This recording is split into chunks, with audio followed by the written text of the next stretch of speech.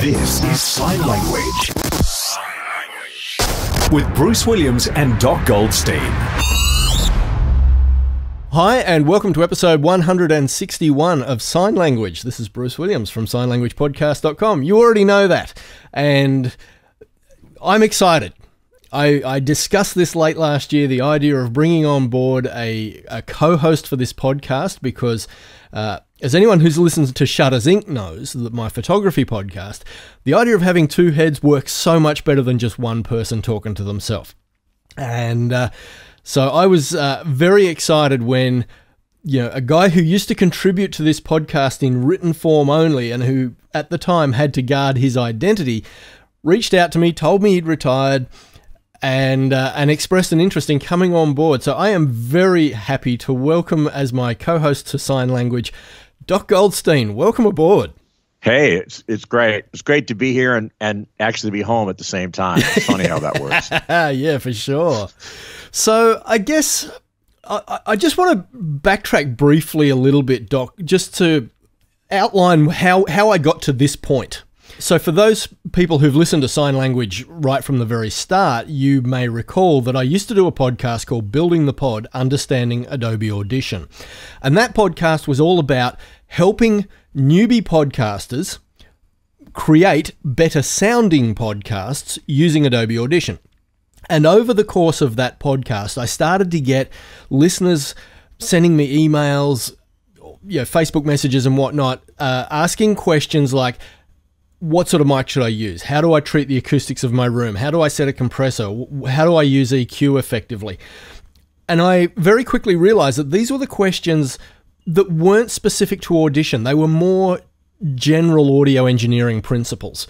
And it was off that realization that I decided, hey, we need a second podcast here, one that deals with more generic stuff that's not DAW specific. And so that's how Sine Language started. And over a course of time, the conversation kind of got out of my control. It started to delve off into areas that I really felt I didn't know anything about. And stupidly, I thought that was a good time to shut it down, where really that, you know, I should have played the role of moderator and allowed the conversation to go where it wanted to go. And the reason I mention that is because late last year when I was talking to Greg Anderson, he sent me an email and he one of the things that he said really jumped out at me. He said, "Who is your audience?" And it really rocked me back on my heels and I thought that is a question that I should have been asking myself a lot sooner. And and that has kind of got a, a little bit lost. It started out that the intended audience of this podcast was people who wanted to create podcasts. But over the course of time, it's kind of branched out into home recording enthusiasts and people who are just audiophiles. And so I wanted to kind of do a reset, you know, bringing Doc on board. It was a good opportunity to, you know, start that conversation again and to more clearly identify the parts of the podcast and who they're identified, you know, or who they're aimed at. Uh, so that is my intention with this, you know, third iteration of Sine Language, if you like. As for Doc and I, wow. Well, Doc, Doc, you were listening to this podcast years ago. I was listening to the podcast because I'm kind of a crazy person for all things audio, you know, and I love I love to talk shop. So you know, it's not unusual for me to hurt, hunt around uh, for podcasts, and I've come across quite a few that are talking about audio, and yours was one of them. Yep. And there's been a few others that I thought were really, really good. And um, so, hey, I love to talk shop, and I contacted you, and and we had a couple of posts back and forth, and what have you. Yeah. And then the next thing, and next thing I know, you had reason to come to town. I don't That's remember right. what that was. It was part of my lynda.com obligations when I was recording training for Lynda. Yeah. Yeah, I remember that now. So you came to town, and so we had a chance to meet in person, and I took you up to the studio where I worked, which was a major motion picture studio. Yeah. Uh, still is, except I'm not there right now. That's and, right. Uh, and uh, It is so You know, much so- less for your absence, mate. yeah, I think so. in, in any event, we got to meet, uh, you know, and um, you saw that I take the train to work, which was really interesting because there's a train station right across from the studio. So Yeah. it was very handy for me because I live, for those of you who are not from Australia or maybe from some other uh, even farther flung place, if there is a farther flung place, you know, um, I live about yeah, an hour and a half away from the studio where I worked. So the train for me, uh, I became a metro uh, person. You know, Yeah. started taking the train. But in any event, you took the train with me one day, and we got a chance to know each other a little better. And then your podcast dropped from view Yep. because you got to a point where it was just you know a drag or didn't work out. So you got away from it. It's and then by pure chance we hooked up again, uh, and here we are. you Yeah. know. sounds easy, but um, Yeah. you know here we are. I still love to talk shop, and you know I'm teaching recording engineering. You know now Nice. because I like to keep myself off the streets. You know, daytime TV gets really old. So Oh yeah. so I'm doing that, which is great because it gives me a chance to turn the lights on on a few heads and keeps me on my toes as well. Uh, so the kids are really smart. And then I bumped into you, and here we are. Nice. Okay. Uh, so, well, should we talk talk through your home studio setup? What what sort of gear have you got, and and, and what do you use your home studio for? Well, okay. So it's kind of a loaded question because you know I'm a Pro Tools person, and Yeah. I know that you're not. That's That's okay. okay. that ought to be worth a couple of podcasts right there. Oh, for sure. Uh, but for the sake of today, my voice is coming through a Shure microphone, an SM57, which is kind of a common combination microphone and hammer. Oh, that's the that's the army workhorse of microphones. Oh yeah, you can't kill it even if you try. That's right. it's just like an SM58 without the uh, windscreen. Yep. That's plugged into an API preamp, uh, nice. which uh, you know I'm a big API fan. Same. We had one in my, when I was at Wally Heider's. We had uh, an API in one of the rooms, Studio Three there, and I fell in love at that time. That was the late '70s. So I'm older than 13. So. Just a little. and out of the mic preamp, I'm going into my uh, Avid HDIO because I'm running Avid HD and I'm using the HDIO, which for those of you who are familiar with Avid hardware, it looks just like a 192 except it's dark gray. And that, of course, is hooked up to the Mac and uh, so on and so forth. And then I'm not using them right now, but my main monitors of choice are uh, Genelec 8040s and a matching Genelec sub, which is not an ad for Genelec. It's just what I'm using. Oh, mate, I'm a, I'm a big big fan of Genelec monitoring myself. Yes, so I noticed, you know. Uh, so uh, that's what I have at home. I got a bunch of other junk all hooked up to it because I have a lot of analog I/O, and I have a bunch of outboard equipment hooked up, and I have some good microphones and stuff like that. So you know, I, and I use the studio for. Sometimes I use it for things that I'm going to do at school, and it, so I can go in there and having done some of the things, so I don't look stupid because Yeah. I hate when that happens. uh, but I also I also record stuff, and uh, sometimes I record bands and playback stuff, or do I do a lot of mixes here. Right. So I, I just keep busy. That's all. Yeah, nice. So uh, a bit of a home recording enthusiast yourself. I am a home recording enthusiast who has a history of not being a uh, not recording at home. I Yeah, actually learned in you know I was very fortunate because when I was learning recording there still were studios in every corner. I mean in Hollywood, you know, you could trip and fall and land at the doorstep of a studio. And Yeah. it's certainly not like that now, but I had the opportunity of learning from a lot of really good people. And then when I was in the film studio part of it, my big thing there was that I had just the greatest team. I only looked good because I had great people who wanted to work with me. and uh, that sounds like I know that sounds like corny sort of thing, but it's hey, true. that was Henry Ford's approach. Was always hire smarter people than yourself. yes, unfortunately, it was easy to find people who fit that description. Okay. you know. so here I am, and I still love to talk shop. I love to talk microphones and preamps and Yep. reverb units and what to do in case of this and that, and and what the beeps are for when you're doing uh, ADR and uh, Foley. Sure. So you name it, I want to talk about it. And sometimes, I, I, actually often, we might run into things that I'm not familiar with, and that's cool too. Yeah, yeah, I'm for not sure. to admit that, Um, and I what- might learn something. One thing I do just want to throw in, uh, as long term listeners will know, Doc used to contribute to this podcast in written form and he had to guard his identity because of where he worked. We are not going to mention that studio by name. And we would appreciate it if you guys could do the same as listeners. Uh, by all means, you know, please send us questions, send us all that sort of stuff but let's not make it public as to where he worked. Anyone can Google it, but we're not going to make a thing of it because that company has a thing about protecting its brand. And I just as wanted, they should, as they should, absolutely. And I, I just wanted right. to get that out there nice and early so we don't go tripping over ourselves. Yeah, and I'm not speaking as in as a representative of no, that studio. It's no, a, of course. You know, it's a it's a great place with great people. Oh, you know, absolutely. But it's not. But it, but it's but I'm not part of it anymore. So yeah, all right, well that's that's great. I'm I'm so excited for where this podcast will go now with you know a, a, co-host on board and and particularly someone of your caliber, Doc. I think it's going to be a lot of fun. So they say. Caliber. hmm. No, don't be blowing smoke, okay? I tell my students not to do that because it won't help their grade. Right. Fair enough. Uh, so during the week, I set up a new Facebook page uh, for Sine Language Podcast, uh, which I know a, a, lot of people have already gone and liked the page, and all future uh, cross posts of the podcast as it releases will go to that page and not to my personal Facebook profile. Uh, so if you haven't yet liked the Sine Language Podcast page on Facebook. Uh, make it a point to do so as you're listening to this podcast. I will put a link in the show notes so that uh, it's easy for you to find it. Um, but I heard from Dave King uh, just a couple of days ago, and Dave's been a listener to this podcast for quite a while.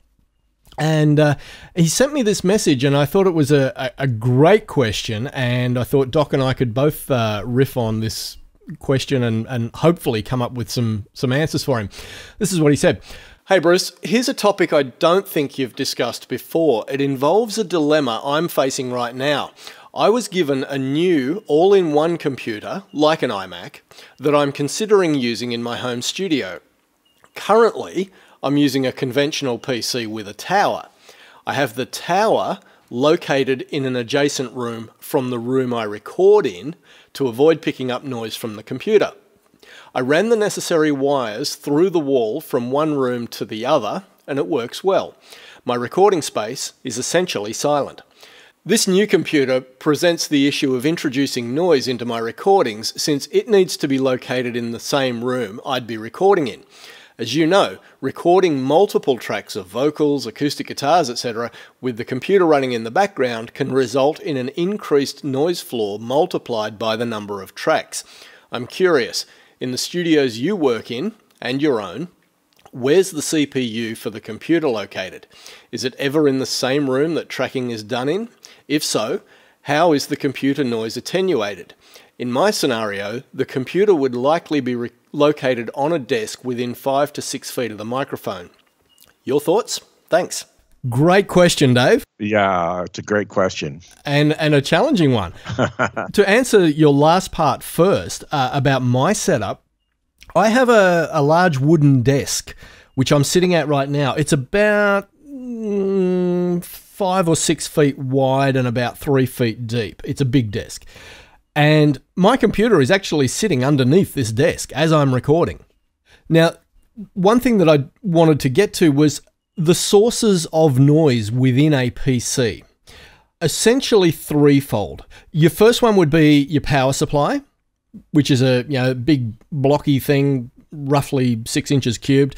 Uh, in older PC cases, they tend to be located at the top of the case. In some of the newer uh, case designs I've seen, they're locating the power supply at the at the bottom, closer to the ground, uh, to lower the center of gravity.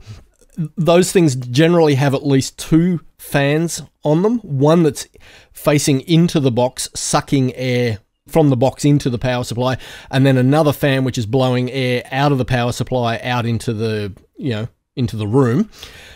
Uh, so that's one source of noise. Then you've got your magnetic drives, you know, your, your normal hard drives with spinning platters.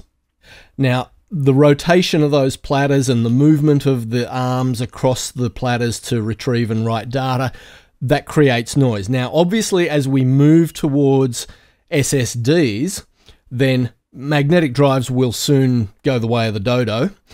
But at the moment, and, and this is certainly an issue for those of us who record audio and edit video and that sort of stuff, is capacity. SSDs of any you know decent size, like over a terabyte, are still hideously expensive when compared with a magnetic drive.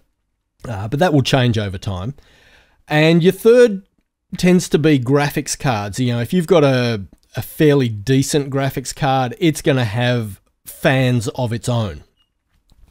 And those are the three major sources of noise within a PC, and, and, presumably within a Mac as well. I've never looked inside a Mac, I don't know. So, what can you do to deal with those noises? Well, like I said, mine's sitting underneath the desk. I don't get too cut up about the noise of the PC because it's a constant sound. It's not something that fluctuates over time, it's very constant. And the beauty of any constant noise source, and particularly something that's reasonably quiet, is that you can always take a noise profile from it and run some noise reduction. Now, obviously, Dave, you're recording music, and I can understand you may not want to be running noise reduction on the tracks that you've recorded. I can definitely. Although I've had some good luck doing that, and I'll talk about it when you're when yes, my same, turn. Same. So you know, so the the approach that I generally take is I record my voice for my podcasts. Warts and all, if there's a little bit of PC hum in the background, I don't get too cut up about it. I'll either run noise reduction or I'll just run a soft noise gate. And I'll generally use something like iZotope's Nectar plugin, which is designed for vocal processing. Uh, it has a quite customizable noise gate built into it.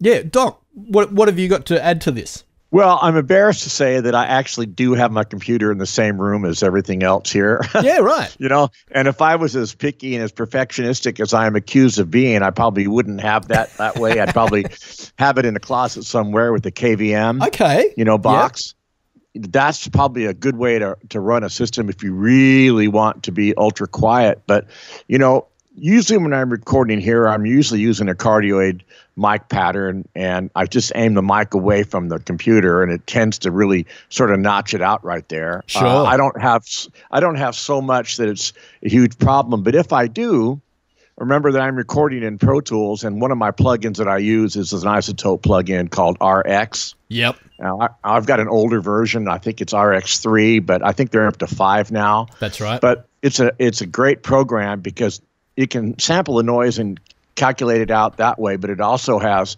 really high Q dip filters in it for hum that work really well. And I'll be happy to talk about what Q is, you know, if it gets to that point. Oh, but sure. it's just really. Um, really works for me. It works, and so you know, I'm kind of embarrassed to say I do have the computer in here, but I would ask your listener uh, if he's thought about a KVM to solve his problem. Well, that's a, that's an interesting question, uh, Dave. You can come back to us on whether or not this new all-in-one that you've bought uh, does it have the option to run a second monitor via a, another input, and if so, could you potentially move the all-in-one into the other room where you previously had your PC tower? And could you then just run, you know, a monitor cable with an external, yeah, obviously the keyboard and mouse are external. They're not part of the all in one. Uh, so they can still be run through from another room as per your old setup. The question is really is just does the all in one have some sort of video output connection, whether it's HDMI or DVI or uh, display port or something like that that you could take the graphic output and run it to another monitor. I guess yeah, that's a an interesting way to to approach it. Well, I, in the past, I've used KVMs a lot to moat a lot of Macs. You know, uh, right. like you might have a machine room just full of Macs and uh, KVM them all out to other rooms where they need to be, and that really works. So that's the question: Can he do that with his iMac? So a KVM as a switch box, it would simply need an input of a video signal just as an external monitor would. Is that correct? Well, a KVM will take the mouse uh, and the keyboard and the video signal and remote it all. Right. So you could have like you know you could be a, some distance away, and they don't have to be expensive if you don't get a massive system. I mean, yes, you can spend entirely too much in a professional environment, but just for the home, you shouldn't have to spend a lot of money to get that to work, and that would probably solve his problem. As long as his computer does have a video output, like you said, like a DVI or DisplayPort or whatever. Yeah. I'd be interested to know, Dave, is is this new all-in-one system really that loud? I, I mean, I, I don't know what type of music Dave King records. It, it- you know, it may be that he's doing, you know, soft acoustic stuff, and therefore he needs a bit of gain on the microphones, and even a small amount of PC noise creates an issue for him. I'd certainly look at the possibility of running noise gates if you can't get the all-in-one out of the room or as as doc suggested earlier you know where possible use the polar patterns of your microphone to your advantage uh, if you've got anything that's a figure eight, obviously you'd set that up at right angles so that the the null on the sides of the figure eight was pointing to where the computer was located. That would certainly reject any noise from the PC. Or if it's a cardioid pattern, you'd point the the back end of the microphone towards the PC because that's where you'll get the most rejection. Don't you don't you use a figure of eight mic? Didn't you? Well, the mic I'm buy, on didn't now. you buy a ribbon? yeah, that's Yeah, what that's that- what I'm recording on now. That's one of Wes Dooley's mics. That's right, an E AEA R84. Yeah. Well, those those are really good mics, and it's it's actually amazing how well the null on the sides of a ribbon mic are. Oh, It yeah. really, it really rejects really well. It does. It's great. So, you know, uh, I don't know, you could potentially look at uh, other ideas of, you know, setting up foam barriers that you could maybe stand around the PC while you're recording, Dave. I realize that's going to block your view of the screen, but that's something else you could potentially look at. But I'd, I'd certainly investigate the the possibility of moving it out into the other room and if there is some sort of video output that would allow you to then view the output of that on another monitor, then you could still run a similar setup to what you've got. Well, I, I suspect that because we've both admitted to having our computers in the room with us, we have now uh, turned off and knocked out all of the ultra hi-fi guys who are listening, listening to the show. At, at this point, you know, wait a minute, I just spent ten thousand dollars on the best speaker cable I can, and now these guys have the computer in the room. I can just imagine. Well, like I said, for a podcast, it's it's not as critical as if you were trying to do, you know, really high fidelity acoustic recordings. You know, where you're hoping that your end product will be consumed by like-minded audiophiles who will appreciate every nuance of the recording and you know I can un- I can appreciate that that requires you know maybe just stepping it up a notch in terms of your attitude towards noise for a podcast I'm you know like I said I've I've explained my reasoning for the way I approach it the way I do and and by the time it's compressed down to an MP3 yeah you know I can live with it You're using a very high quality mic, you know, for your podcast, but. Yeah. Um, I know a lot of other podcasters are using uh, USB microphones. Yep. And those are okay. They're fine, but they're not $5,000 microphones either. So No. it's not like I agree that for a podcast it's not so critical, but on the other hand, if you really are interested in just getting the absolute best quality you can and you're recording acoustic instruments or something like that, then I think it's incumbent upon you to not only remote your computer but also be looking at the acoustics and the environment and noise from outside and that sort of thing. Definitely. At that point, you're talking about a real studio. that's right For example, right now, my studio is set up in a spare room. Fairly large sized room, but spare.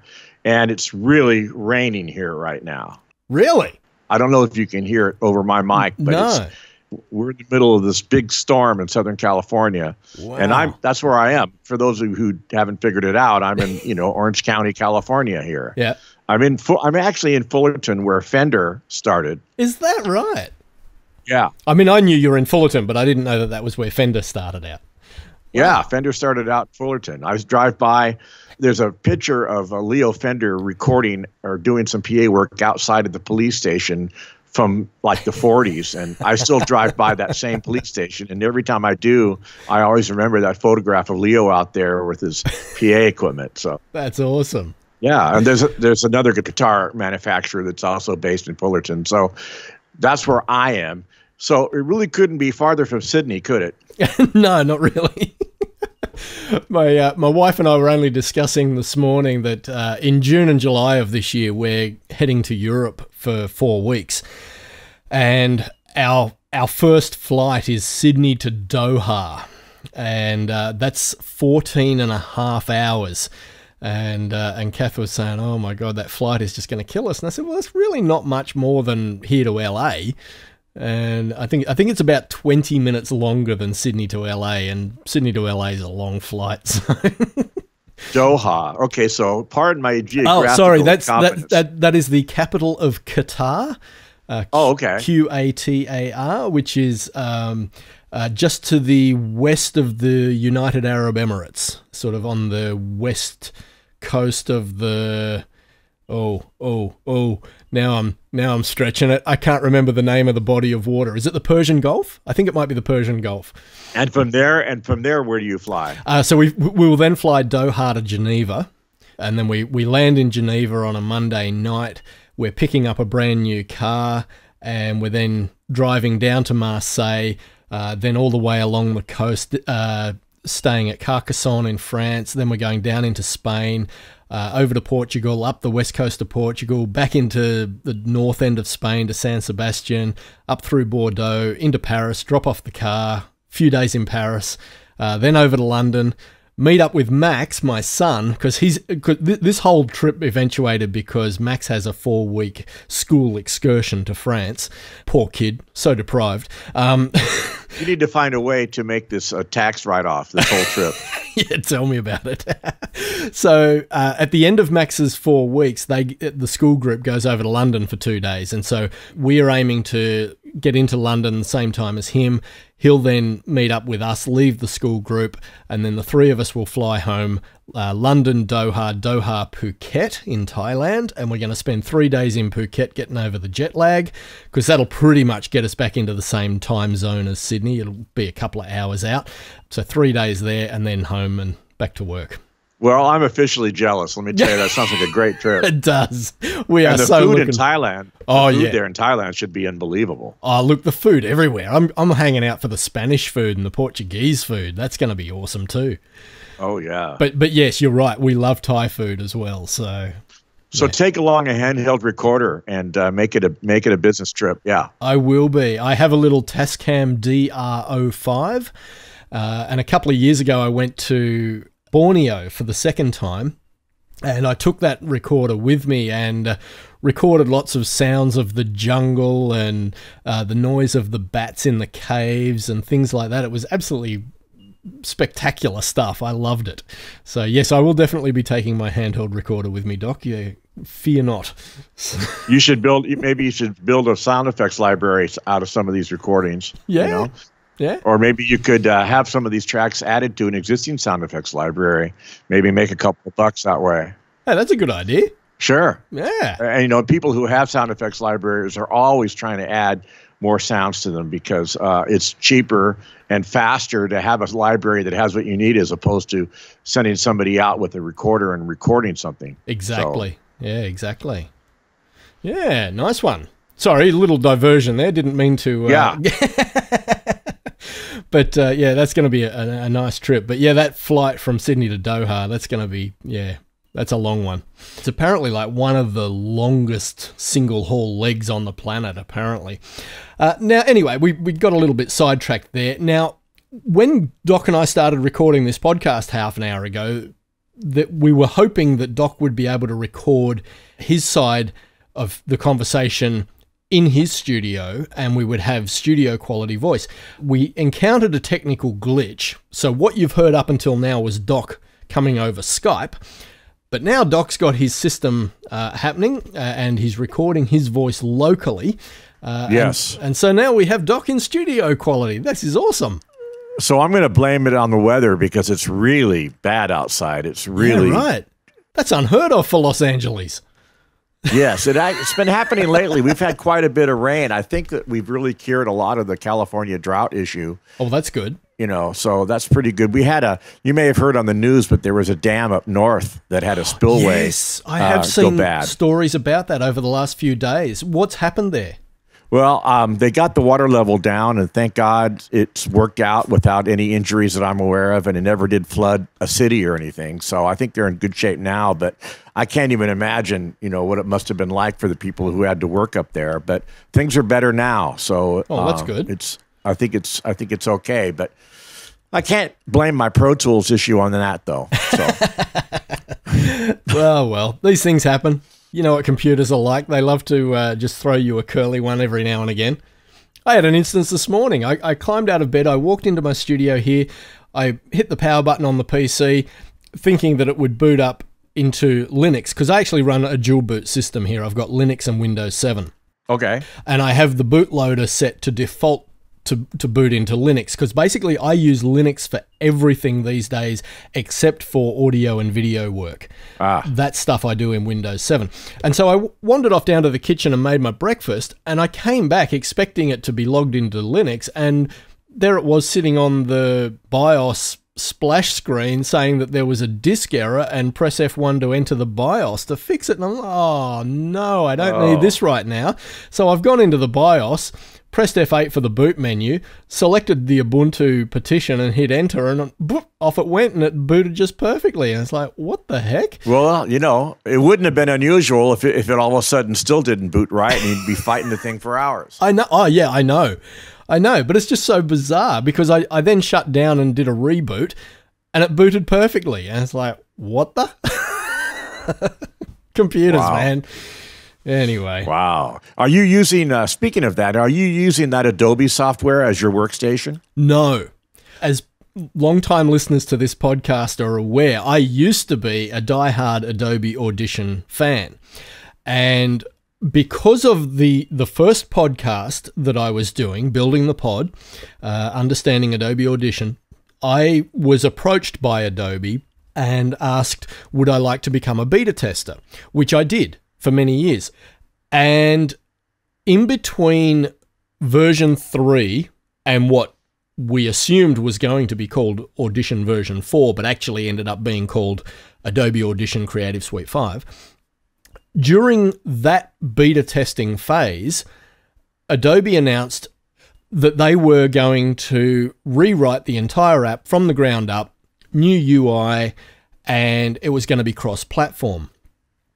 And the beta testers, all of us, were like, wow, this is amazing. You know, it's going to be Yeah, that sounds on, great. going to be on Mac as well as PC because the Mac world had been screaming out for years, when will Audition come to the Mac? And Adobe's stance had always been when hell freezes over. Because they said it's it's too hard to maintain two code bases with the limited team we've got. So when they announced this to the beta testers that this was going to happen, we were like, wow, this is awesome. But then they turned around and said, given the time frame we've got to get this done and out to market, there are some features that are in the existing version that aren't going to make it into the next version. And we were like, what? And they said, yeah, yeah, yeah, we know the marketing team's got its, you know, work cut out for it. And uh, so there were all these features that got left out.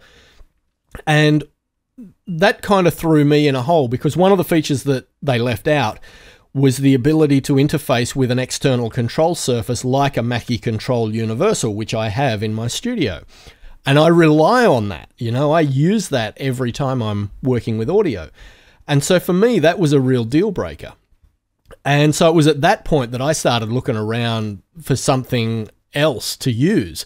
And I had for years heard about Reaper, had never looked at it, downloaded it, and within an hour, I'd forked out the money for a license. I just went, wow, this is phenomenal. And I'm still using Reaper today. So seven. Well, you know, I haven't I haven't used it, but um, there are, I have a lot of friends that I have tremendous respect for who do use it, and they like it a lot. It Uh, is so- phenomenally flexible. There is so much you can do with it.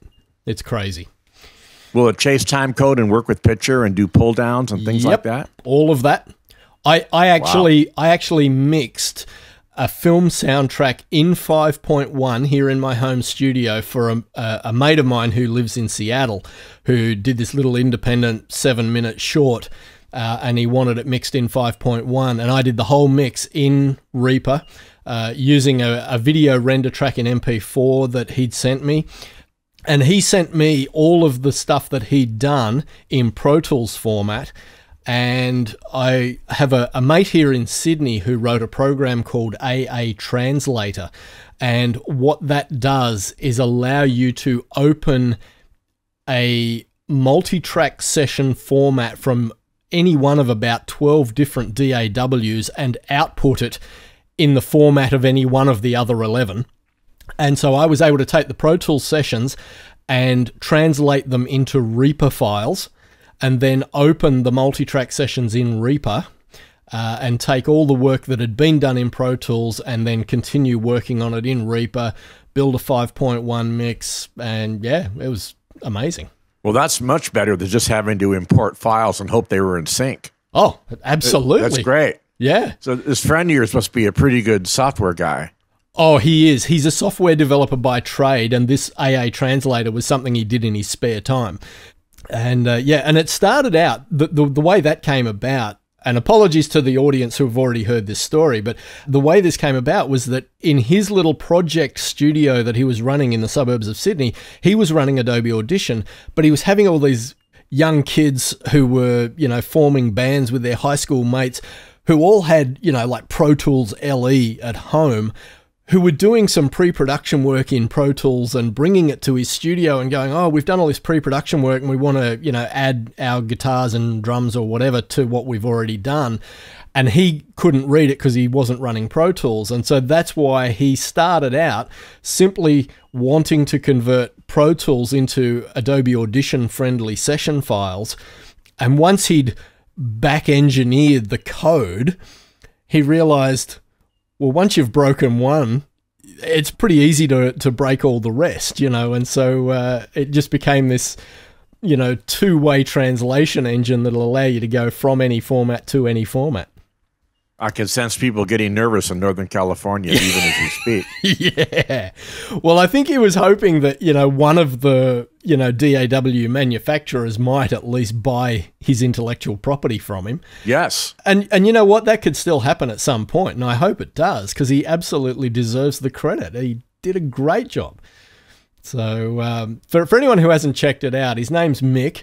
Uh, you can find him on the Reaper forum as username Runaway, and you can find his uh, AA translator software on the web at sweetspotstudios.com.au. But yeah, anyway. Is he physically near you in Australia? Well, he's in Sydney, so I'm I'm located around an hour, hour and a quarter north of Sydney. Uh, it's probably a two-hour drive to where he lives from my place. Oh, okay. Yeah. Why do you ask? Oh, I was just curious. Yeah, right. Just curious. It's a lot closer than I am. Yeah, definitely. when you, so when you came over here a few years back, when you flew over here, yeah, how long were you in the air to get here? Uh, around about fourteen hours and five minutes, I think it was. Wow. It's just a yeah. shade over 14 hours. It's a, it's a long trip. I hope you were at least business class. No, cattle class. You were in steerage. Okay. Yep. yep. wow. But the the thing I've worked out, and this certainly works when you fly from east to west, is make yourself you know have a really long day and catch a red eye flight. Because that particular trip that you're referring to, I got to L- uh, LAX. I had an 11 o'clock flight out uh, in the evening. And I'd been up since about 4:30 or 5 o'clock that morning. And I got on the plane and I absolutely died. And I remember waking up at one point and thinking oh I'm getting a bit stiff. I need to get up and have a, a bit of a stretch and a walk around. And I've looked at my watch and I figured I must have been half asleep because I've looked at the time and gone, no, no, that doesn't make sense. And then I've, you know, switched on the screen on the, you know, back of the headrest in front of me to find the, the map of where the plane was on the planet and found that we were over Fiji and I had slept for 10 hours and it was only four hours to home. And I was like, woohoo, I can deal with that. so, so, yeah, so definitely uh, get those those east to west flights. You definitely want to be absolutely trashed, and you can just sleep it off. Sleeping on an airplane, I'll have to think about that one. Oh, really? You don't sleep on planes? Well, I haven't, you know, but to be fair, I haven't taken a flight that's been that long. You know, Yeah. the farthest I've had to fly is New York, and Right. that's not really worth. That's not really worth sleeping. That's like five out, five six hours. Yeah. Yeah. is all. So Cool. Hey, listen, there's a couple of other things that I have accumulated over the last month or so that I wanted to uh, put into the next episode of Sine Language before I realized I had such a great co host.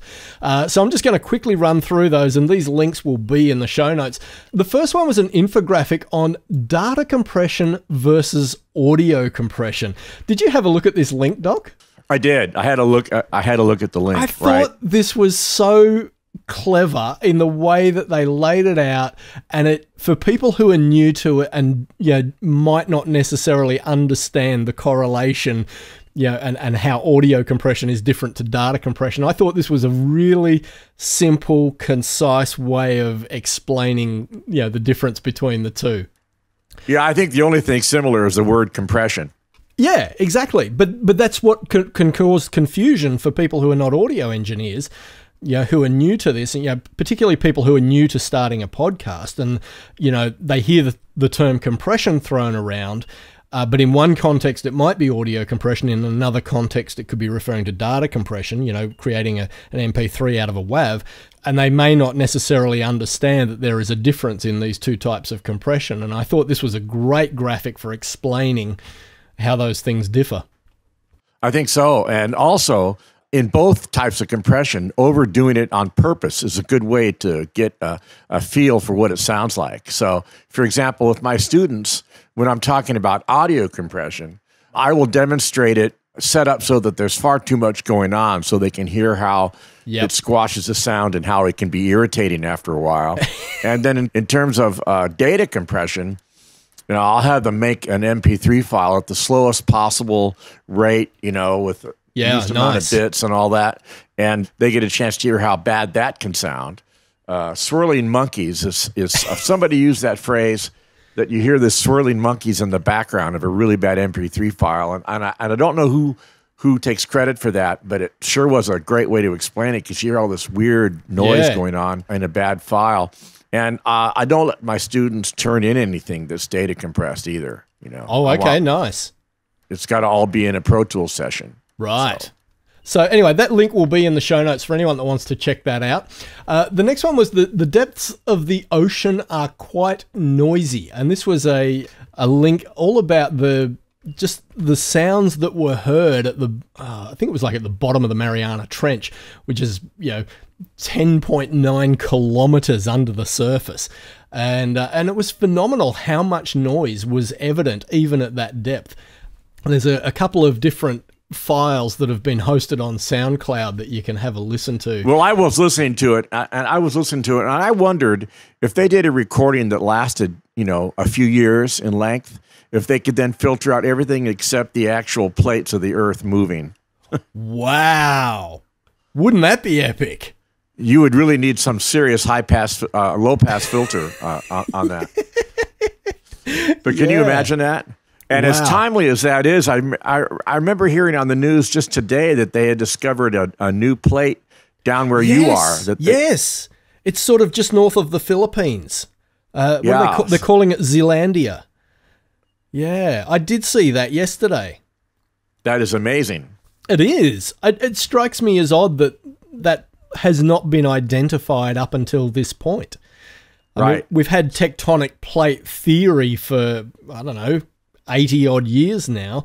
Uh, I would have thought that they would have identified where all the individual plates were on the planet by now, but apparently not.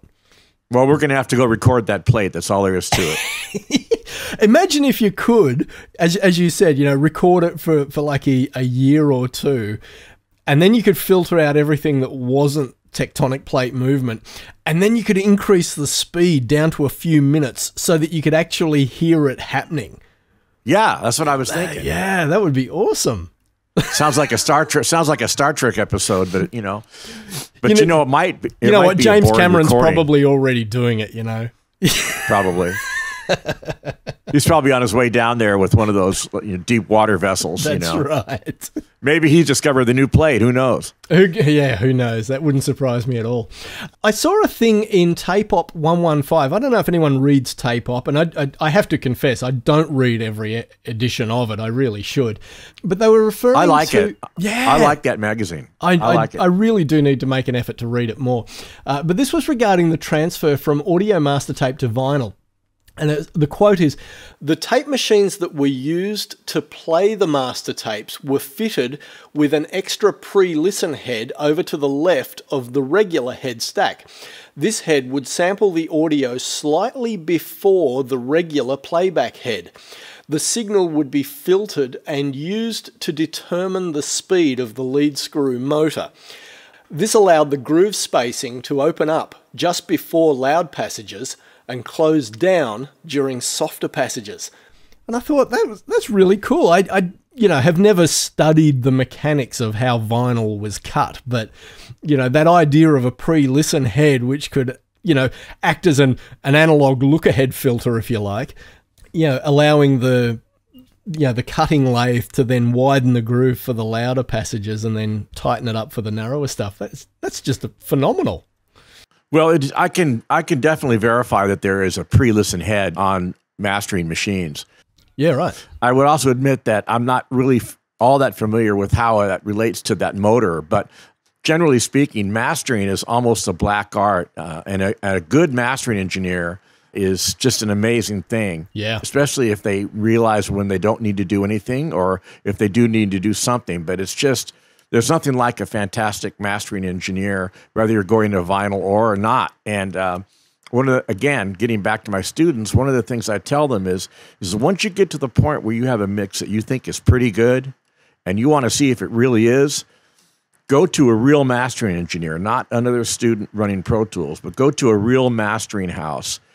Go in there and spend an hour or two with a mastering engineer, and you'll walk out of there finding out if it's real, if what you think you're doing is what's actually turning out, and what you need to change to make it authentic, and so on and so forth. And uh, that would still be my advice to anybody who's starting out as a recording engineer is to uh, hook up with a good mastering engineer so that you can get an objective, really intelligent point of view about your work output. That's a great piece of advice and, and one I should employ. Uh, I don't know if I mentioned to you, but I have a, a good mate who lives, a, again, about three hours from where I live, who I feel is a very talented singer songwriter. And he and I have just finished recording and mixing his fifth album of original material. But it's been a case of me doing the mixing and the quote unquote mastering and you know it's just an indie release but it would be it would be great to be able to take those pre-mastered mixes of mine and sit down with an, a mastering engineer and get his opinion on it i should find somebody locally that i could do that with Oh yeah. Everybody who's done that, you know, comes away with a different understanding of Yeah, right. where they sit in the process. It's just great. Interesting I'm very lucky in that there's a lot of good mastering engineers near me here in the LA area. Oh, know, yeah. Very fortunate that way. and you play guitar yourself don't you doc I've been known to. Absolutely. and, As I sit here, I can look around and see 15 guitars or so laying around. Right. room here. okay Yeah. and do you collaborate with other musicians or do you play everything yourself or Uh, both.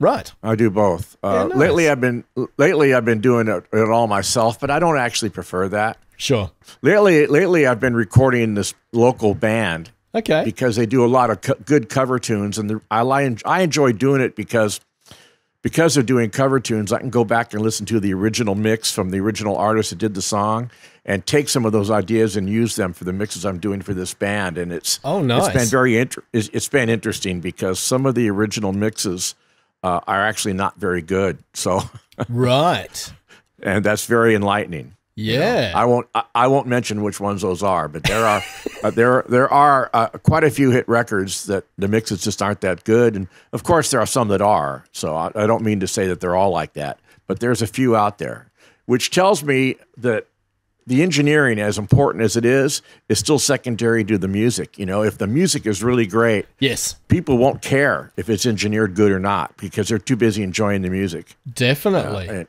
definitely. that's that's been true, and I could name a few songs. But Do, do you know a, a song that immediately jumps to mind on that particular idea is uh, "Lightning Crashes" by Live. Uh, you know the the guitar hum in that you know electric guitar at the start of that song. I remember the first time I heard it, I went, "Who the heck let this out of the studio with all that noise?" But it's such a great song that you end up just completely disregarding the noise and it just becomes part of the character of the whole song. Or maybe they felt it added some authenticity that they were trying to get across, and that is a that is a legitimate point of view. Oh, definitely. Definitely. You know. So, yeah, that's a that's a great topic for a, another podcast as well. Well, you know the human the human ear you, can you can tune out something you don't want to hear, but a microphone can't do that. So Yeah. sometimes you might you might be in a room when there's a lot of background noise and you don't even notice it. But if you're recording the proceedings and you listen to it later, all that noise is like what? What, what, what am I hearing? Where did all that come from? Yes. because the mic can't discriminate in the way that we can because there's no Yeah. brain hooked up to a microphone, which gets into choosing what mic for what purpose and blah blah blah yada yada yada. Definitely. Definitely. Hey, do you know Larry Crane? Larry Crane. I know of Larry he, Crane. He's the guy who puts out Tape Op. right. Um, I wasn't sure if if he was in your circle of uh, you know accomplices. I think I met him at an AES show or two. Right. I think the last time I saw him, I was complaining because, uh, you know, the magazine is supposed to be free and you just give them your name and the magazine shows up. And I do that and it continues to not show up. and so I was. I was complaining about that, and he said he'd take care of it. And then the magazine showed up for a couple of months, and then it stopped again. So, Right. do you not get it digitally? uh, no. So I could sign up for that. I just haven't done it, but I do like the magazine. I think Yeah. they really do fulfill a, a, a purpose. Oh, and a good purpose. Uh, but So- something that I noticed uh, just in the last week was I got an email from Tape Op saying, "Hey, great news! We've started a podcast." And I thought, "Oh, you beauty!" I, you know, That is. as much as I have, great. as much as I have my own, I love listening to other people's podcasts, you know, about audio engineering as well. So I went and downloaded the first episode, which is an interview with Brian Eno. And I thought, wow, what a way to start, you know. Oh yeah, it's all downhill from here, you know. but the thing that I found kind of baffling was I mean, he's hosting it on SoundCloud, which I, I don't have a problem with, but it was uploaded in WAV format. It wasn't compressed to an MP3. And there was no mastering applied to it whatsoever. There were, you know, the peaks were at minus six, and the body of the waveform was sort of at minus 12 and I was thinking really Larry? I'd have thought you'd have at least run some compression and peak limiting and you know brought it up to a, a decent sort of level Well, that's interesting. That is interesting. it is so I'm not I'm not bagging it I, I'm just saying I was baffled by the whatever thought processes went on that led him to release it the way he did and it was released in stereo which I kind of thought was probably a little bit unnecessary if it's just a conversation of a few guys sitting around a an omnidirectional mic, then you could release it as mono and halve the bandwidth. But anyway, Well, maybe maybe uh, subsequent ones uh, will be better. Maybe, Maybe. they were in a big hurry and the, the big hurry wanted to get it out, so just did it. And maybe the next one will be different. Who knows? yeah. So I'm I'm gonna I'm I will definitely send him an email and say, hey, these are just a, a couple of things that I, I thought about the first episode, but I loved, you know, the interview and I'm certainly looking forward to hearing more of of what they put out on the Tape Op podcast. And, and again, I'll put that link in the show notes for anyone that wants to check that out. All right, Doc, I think we've uh, we've milked this one for all it's worth. What do you reckon? Sure. I don't want to say everything I know in the first podcast. That's right. Got to save something for the you know that one. would take me another five minutes. So I, you know, Well, mate, it is great to have you on board, and uh, I'm looking forward to getting some feedback from the listeners. Please send us more questions, uh, either via email, uh, and you'll hear the email in the in the closer. We've set up a new email address. Uh, I might as well just tell you now it's the boys at sinelanguagepodcast.com. So you can send us questions there. You can check out the Facebook page, uh, which is Sine Language Podcast. There's obviously you know the ability to write on the wall there, so you can post questions there. Any questions you've got specifically aimed at Doc, by all means, knock yourself out. I'm sure he would love to hear from you. Doc, is there anywhere on social media that you want people to follow you, or you're happy just to interact through this? Not really. Not really. Okay. You just do it the way you just said is just fine. I'm not a big social media person. Sure. I do have a Facebook page, but um, I'm, I don't even look at it very often. So what can I say? Fair enough. Excellent. All right, mate. Well, good to talk to you. And uh, I think going forward, this podcast is not going to be a weekly podcast. I know it was back in the dim, dark past, but it certainly hasn't been of late. I think Doc and I are probably thinking every two to three weeks, depending on how we're going with our own personal lives and finding the time to do it. Does that sound fair, Doc? Well, I remember you used the word fort, fortnight, and I That's went, right. "What the heck? What the heck is that?" Yeah. You know. So I had to ask you, and yeah, that was pretty funny. But that yeah, sounds I- about right. Yeah, so every two to three weeks, as as we as we see fit. Not not a big term here in the colonies, right? No, apparently not. I didn't realize that. So anyway, fun and games. All right, mate. Well, we'll uh, we'll talk to you in a few weeks. Okay, talk to you. Sine Language. Another audio2u.com quality podcast.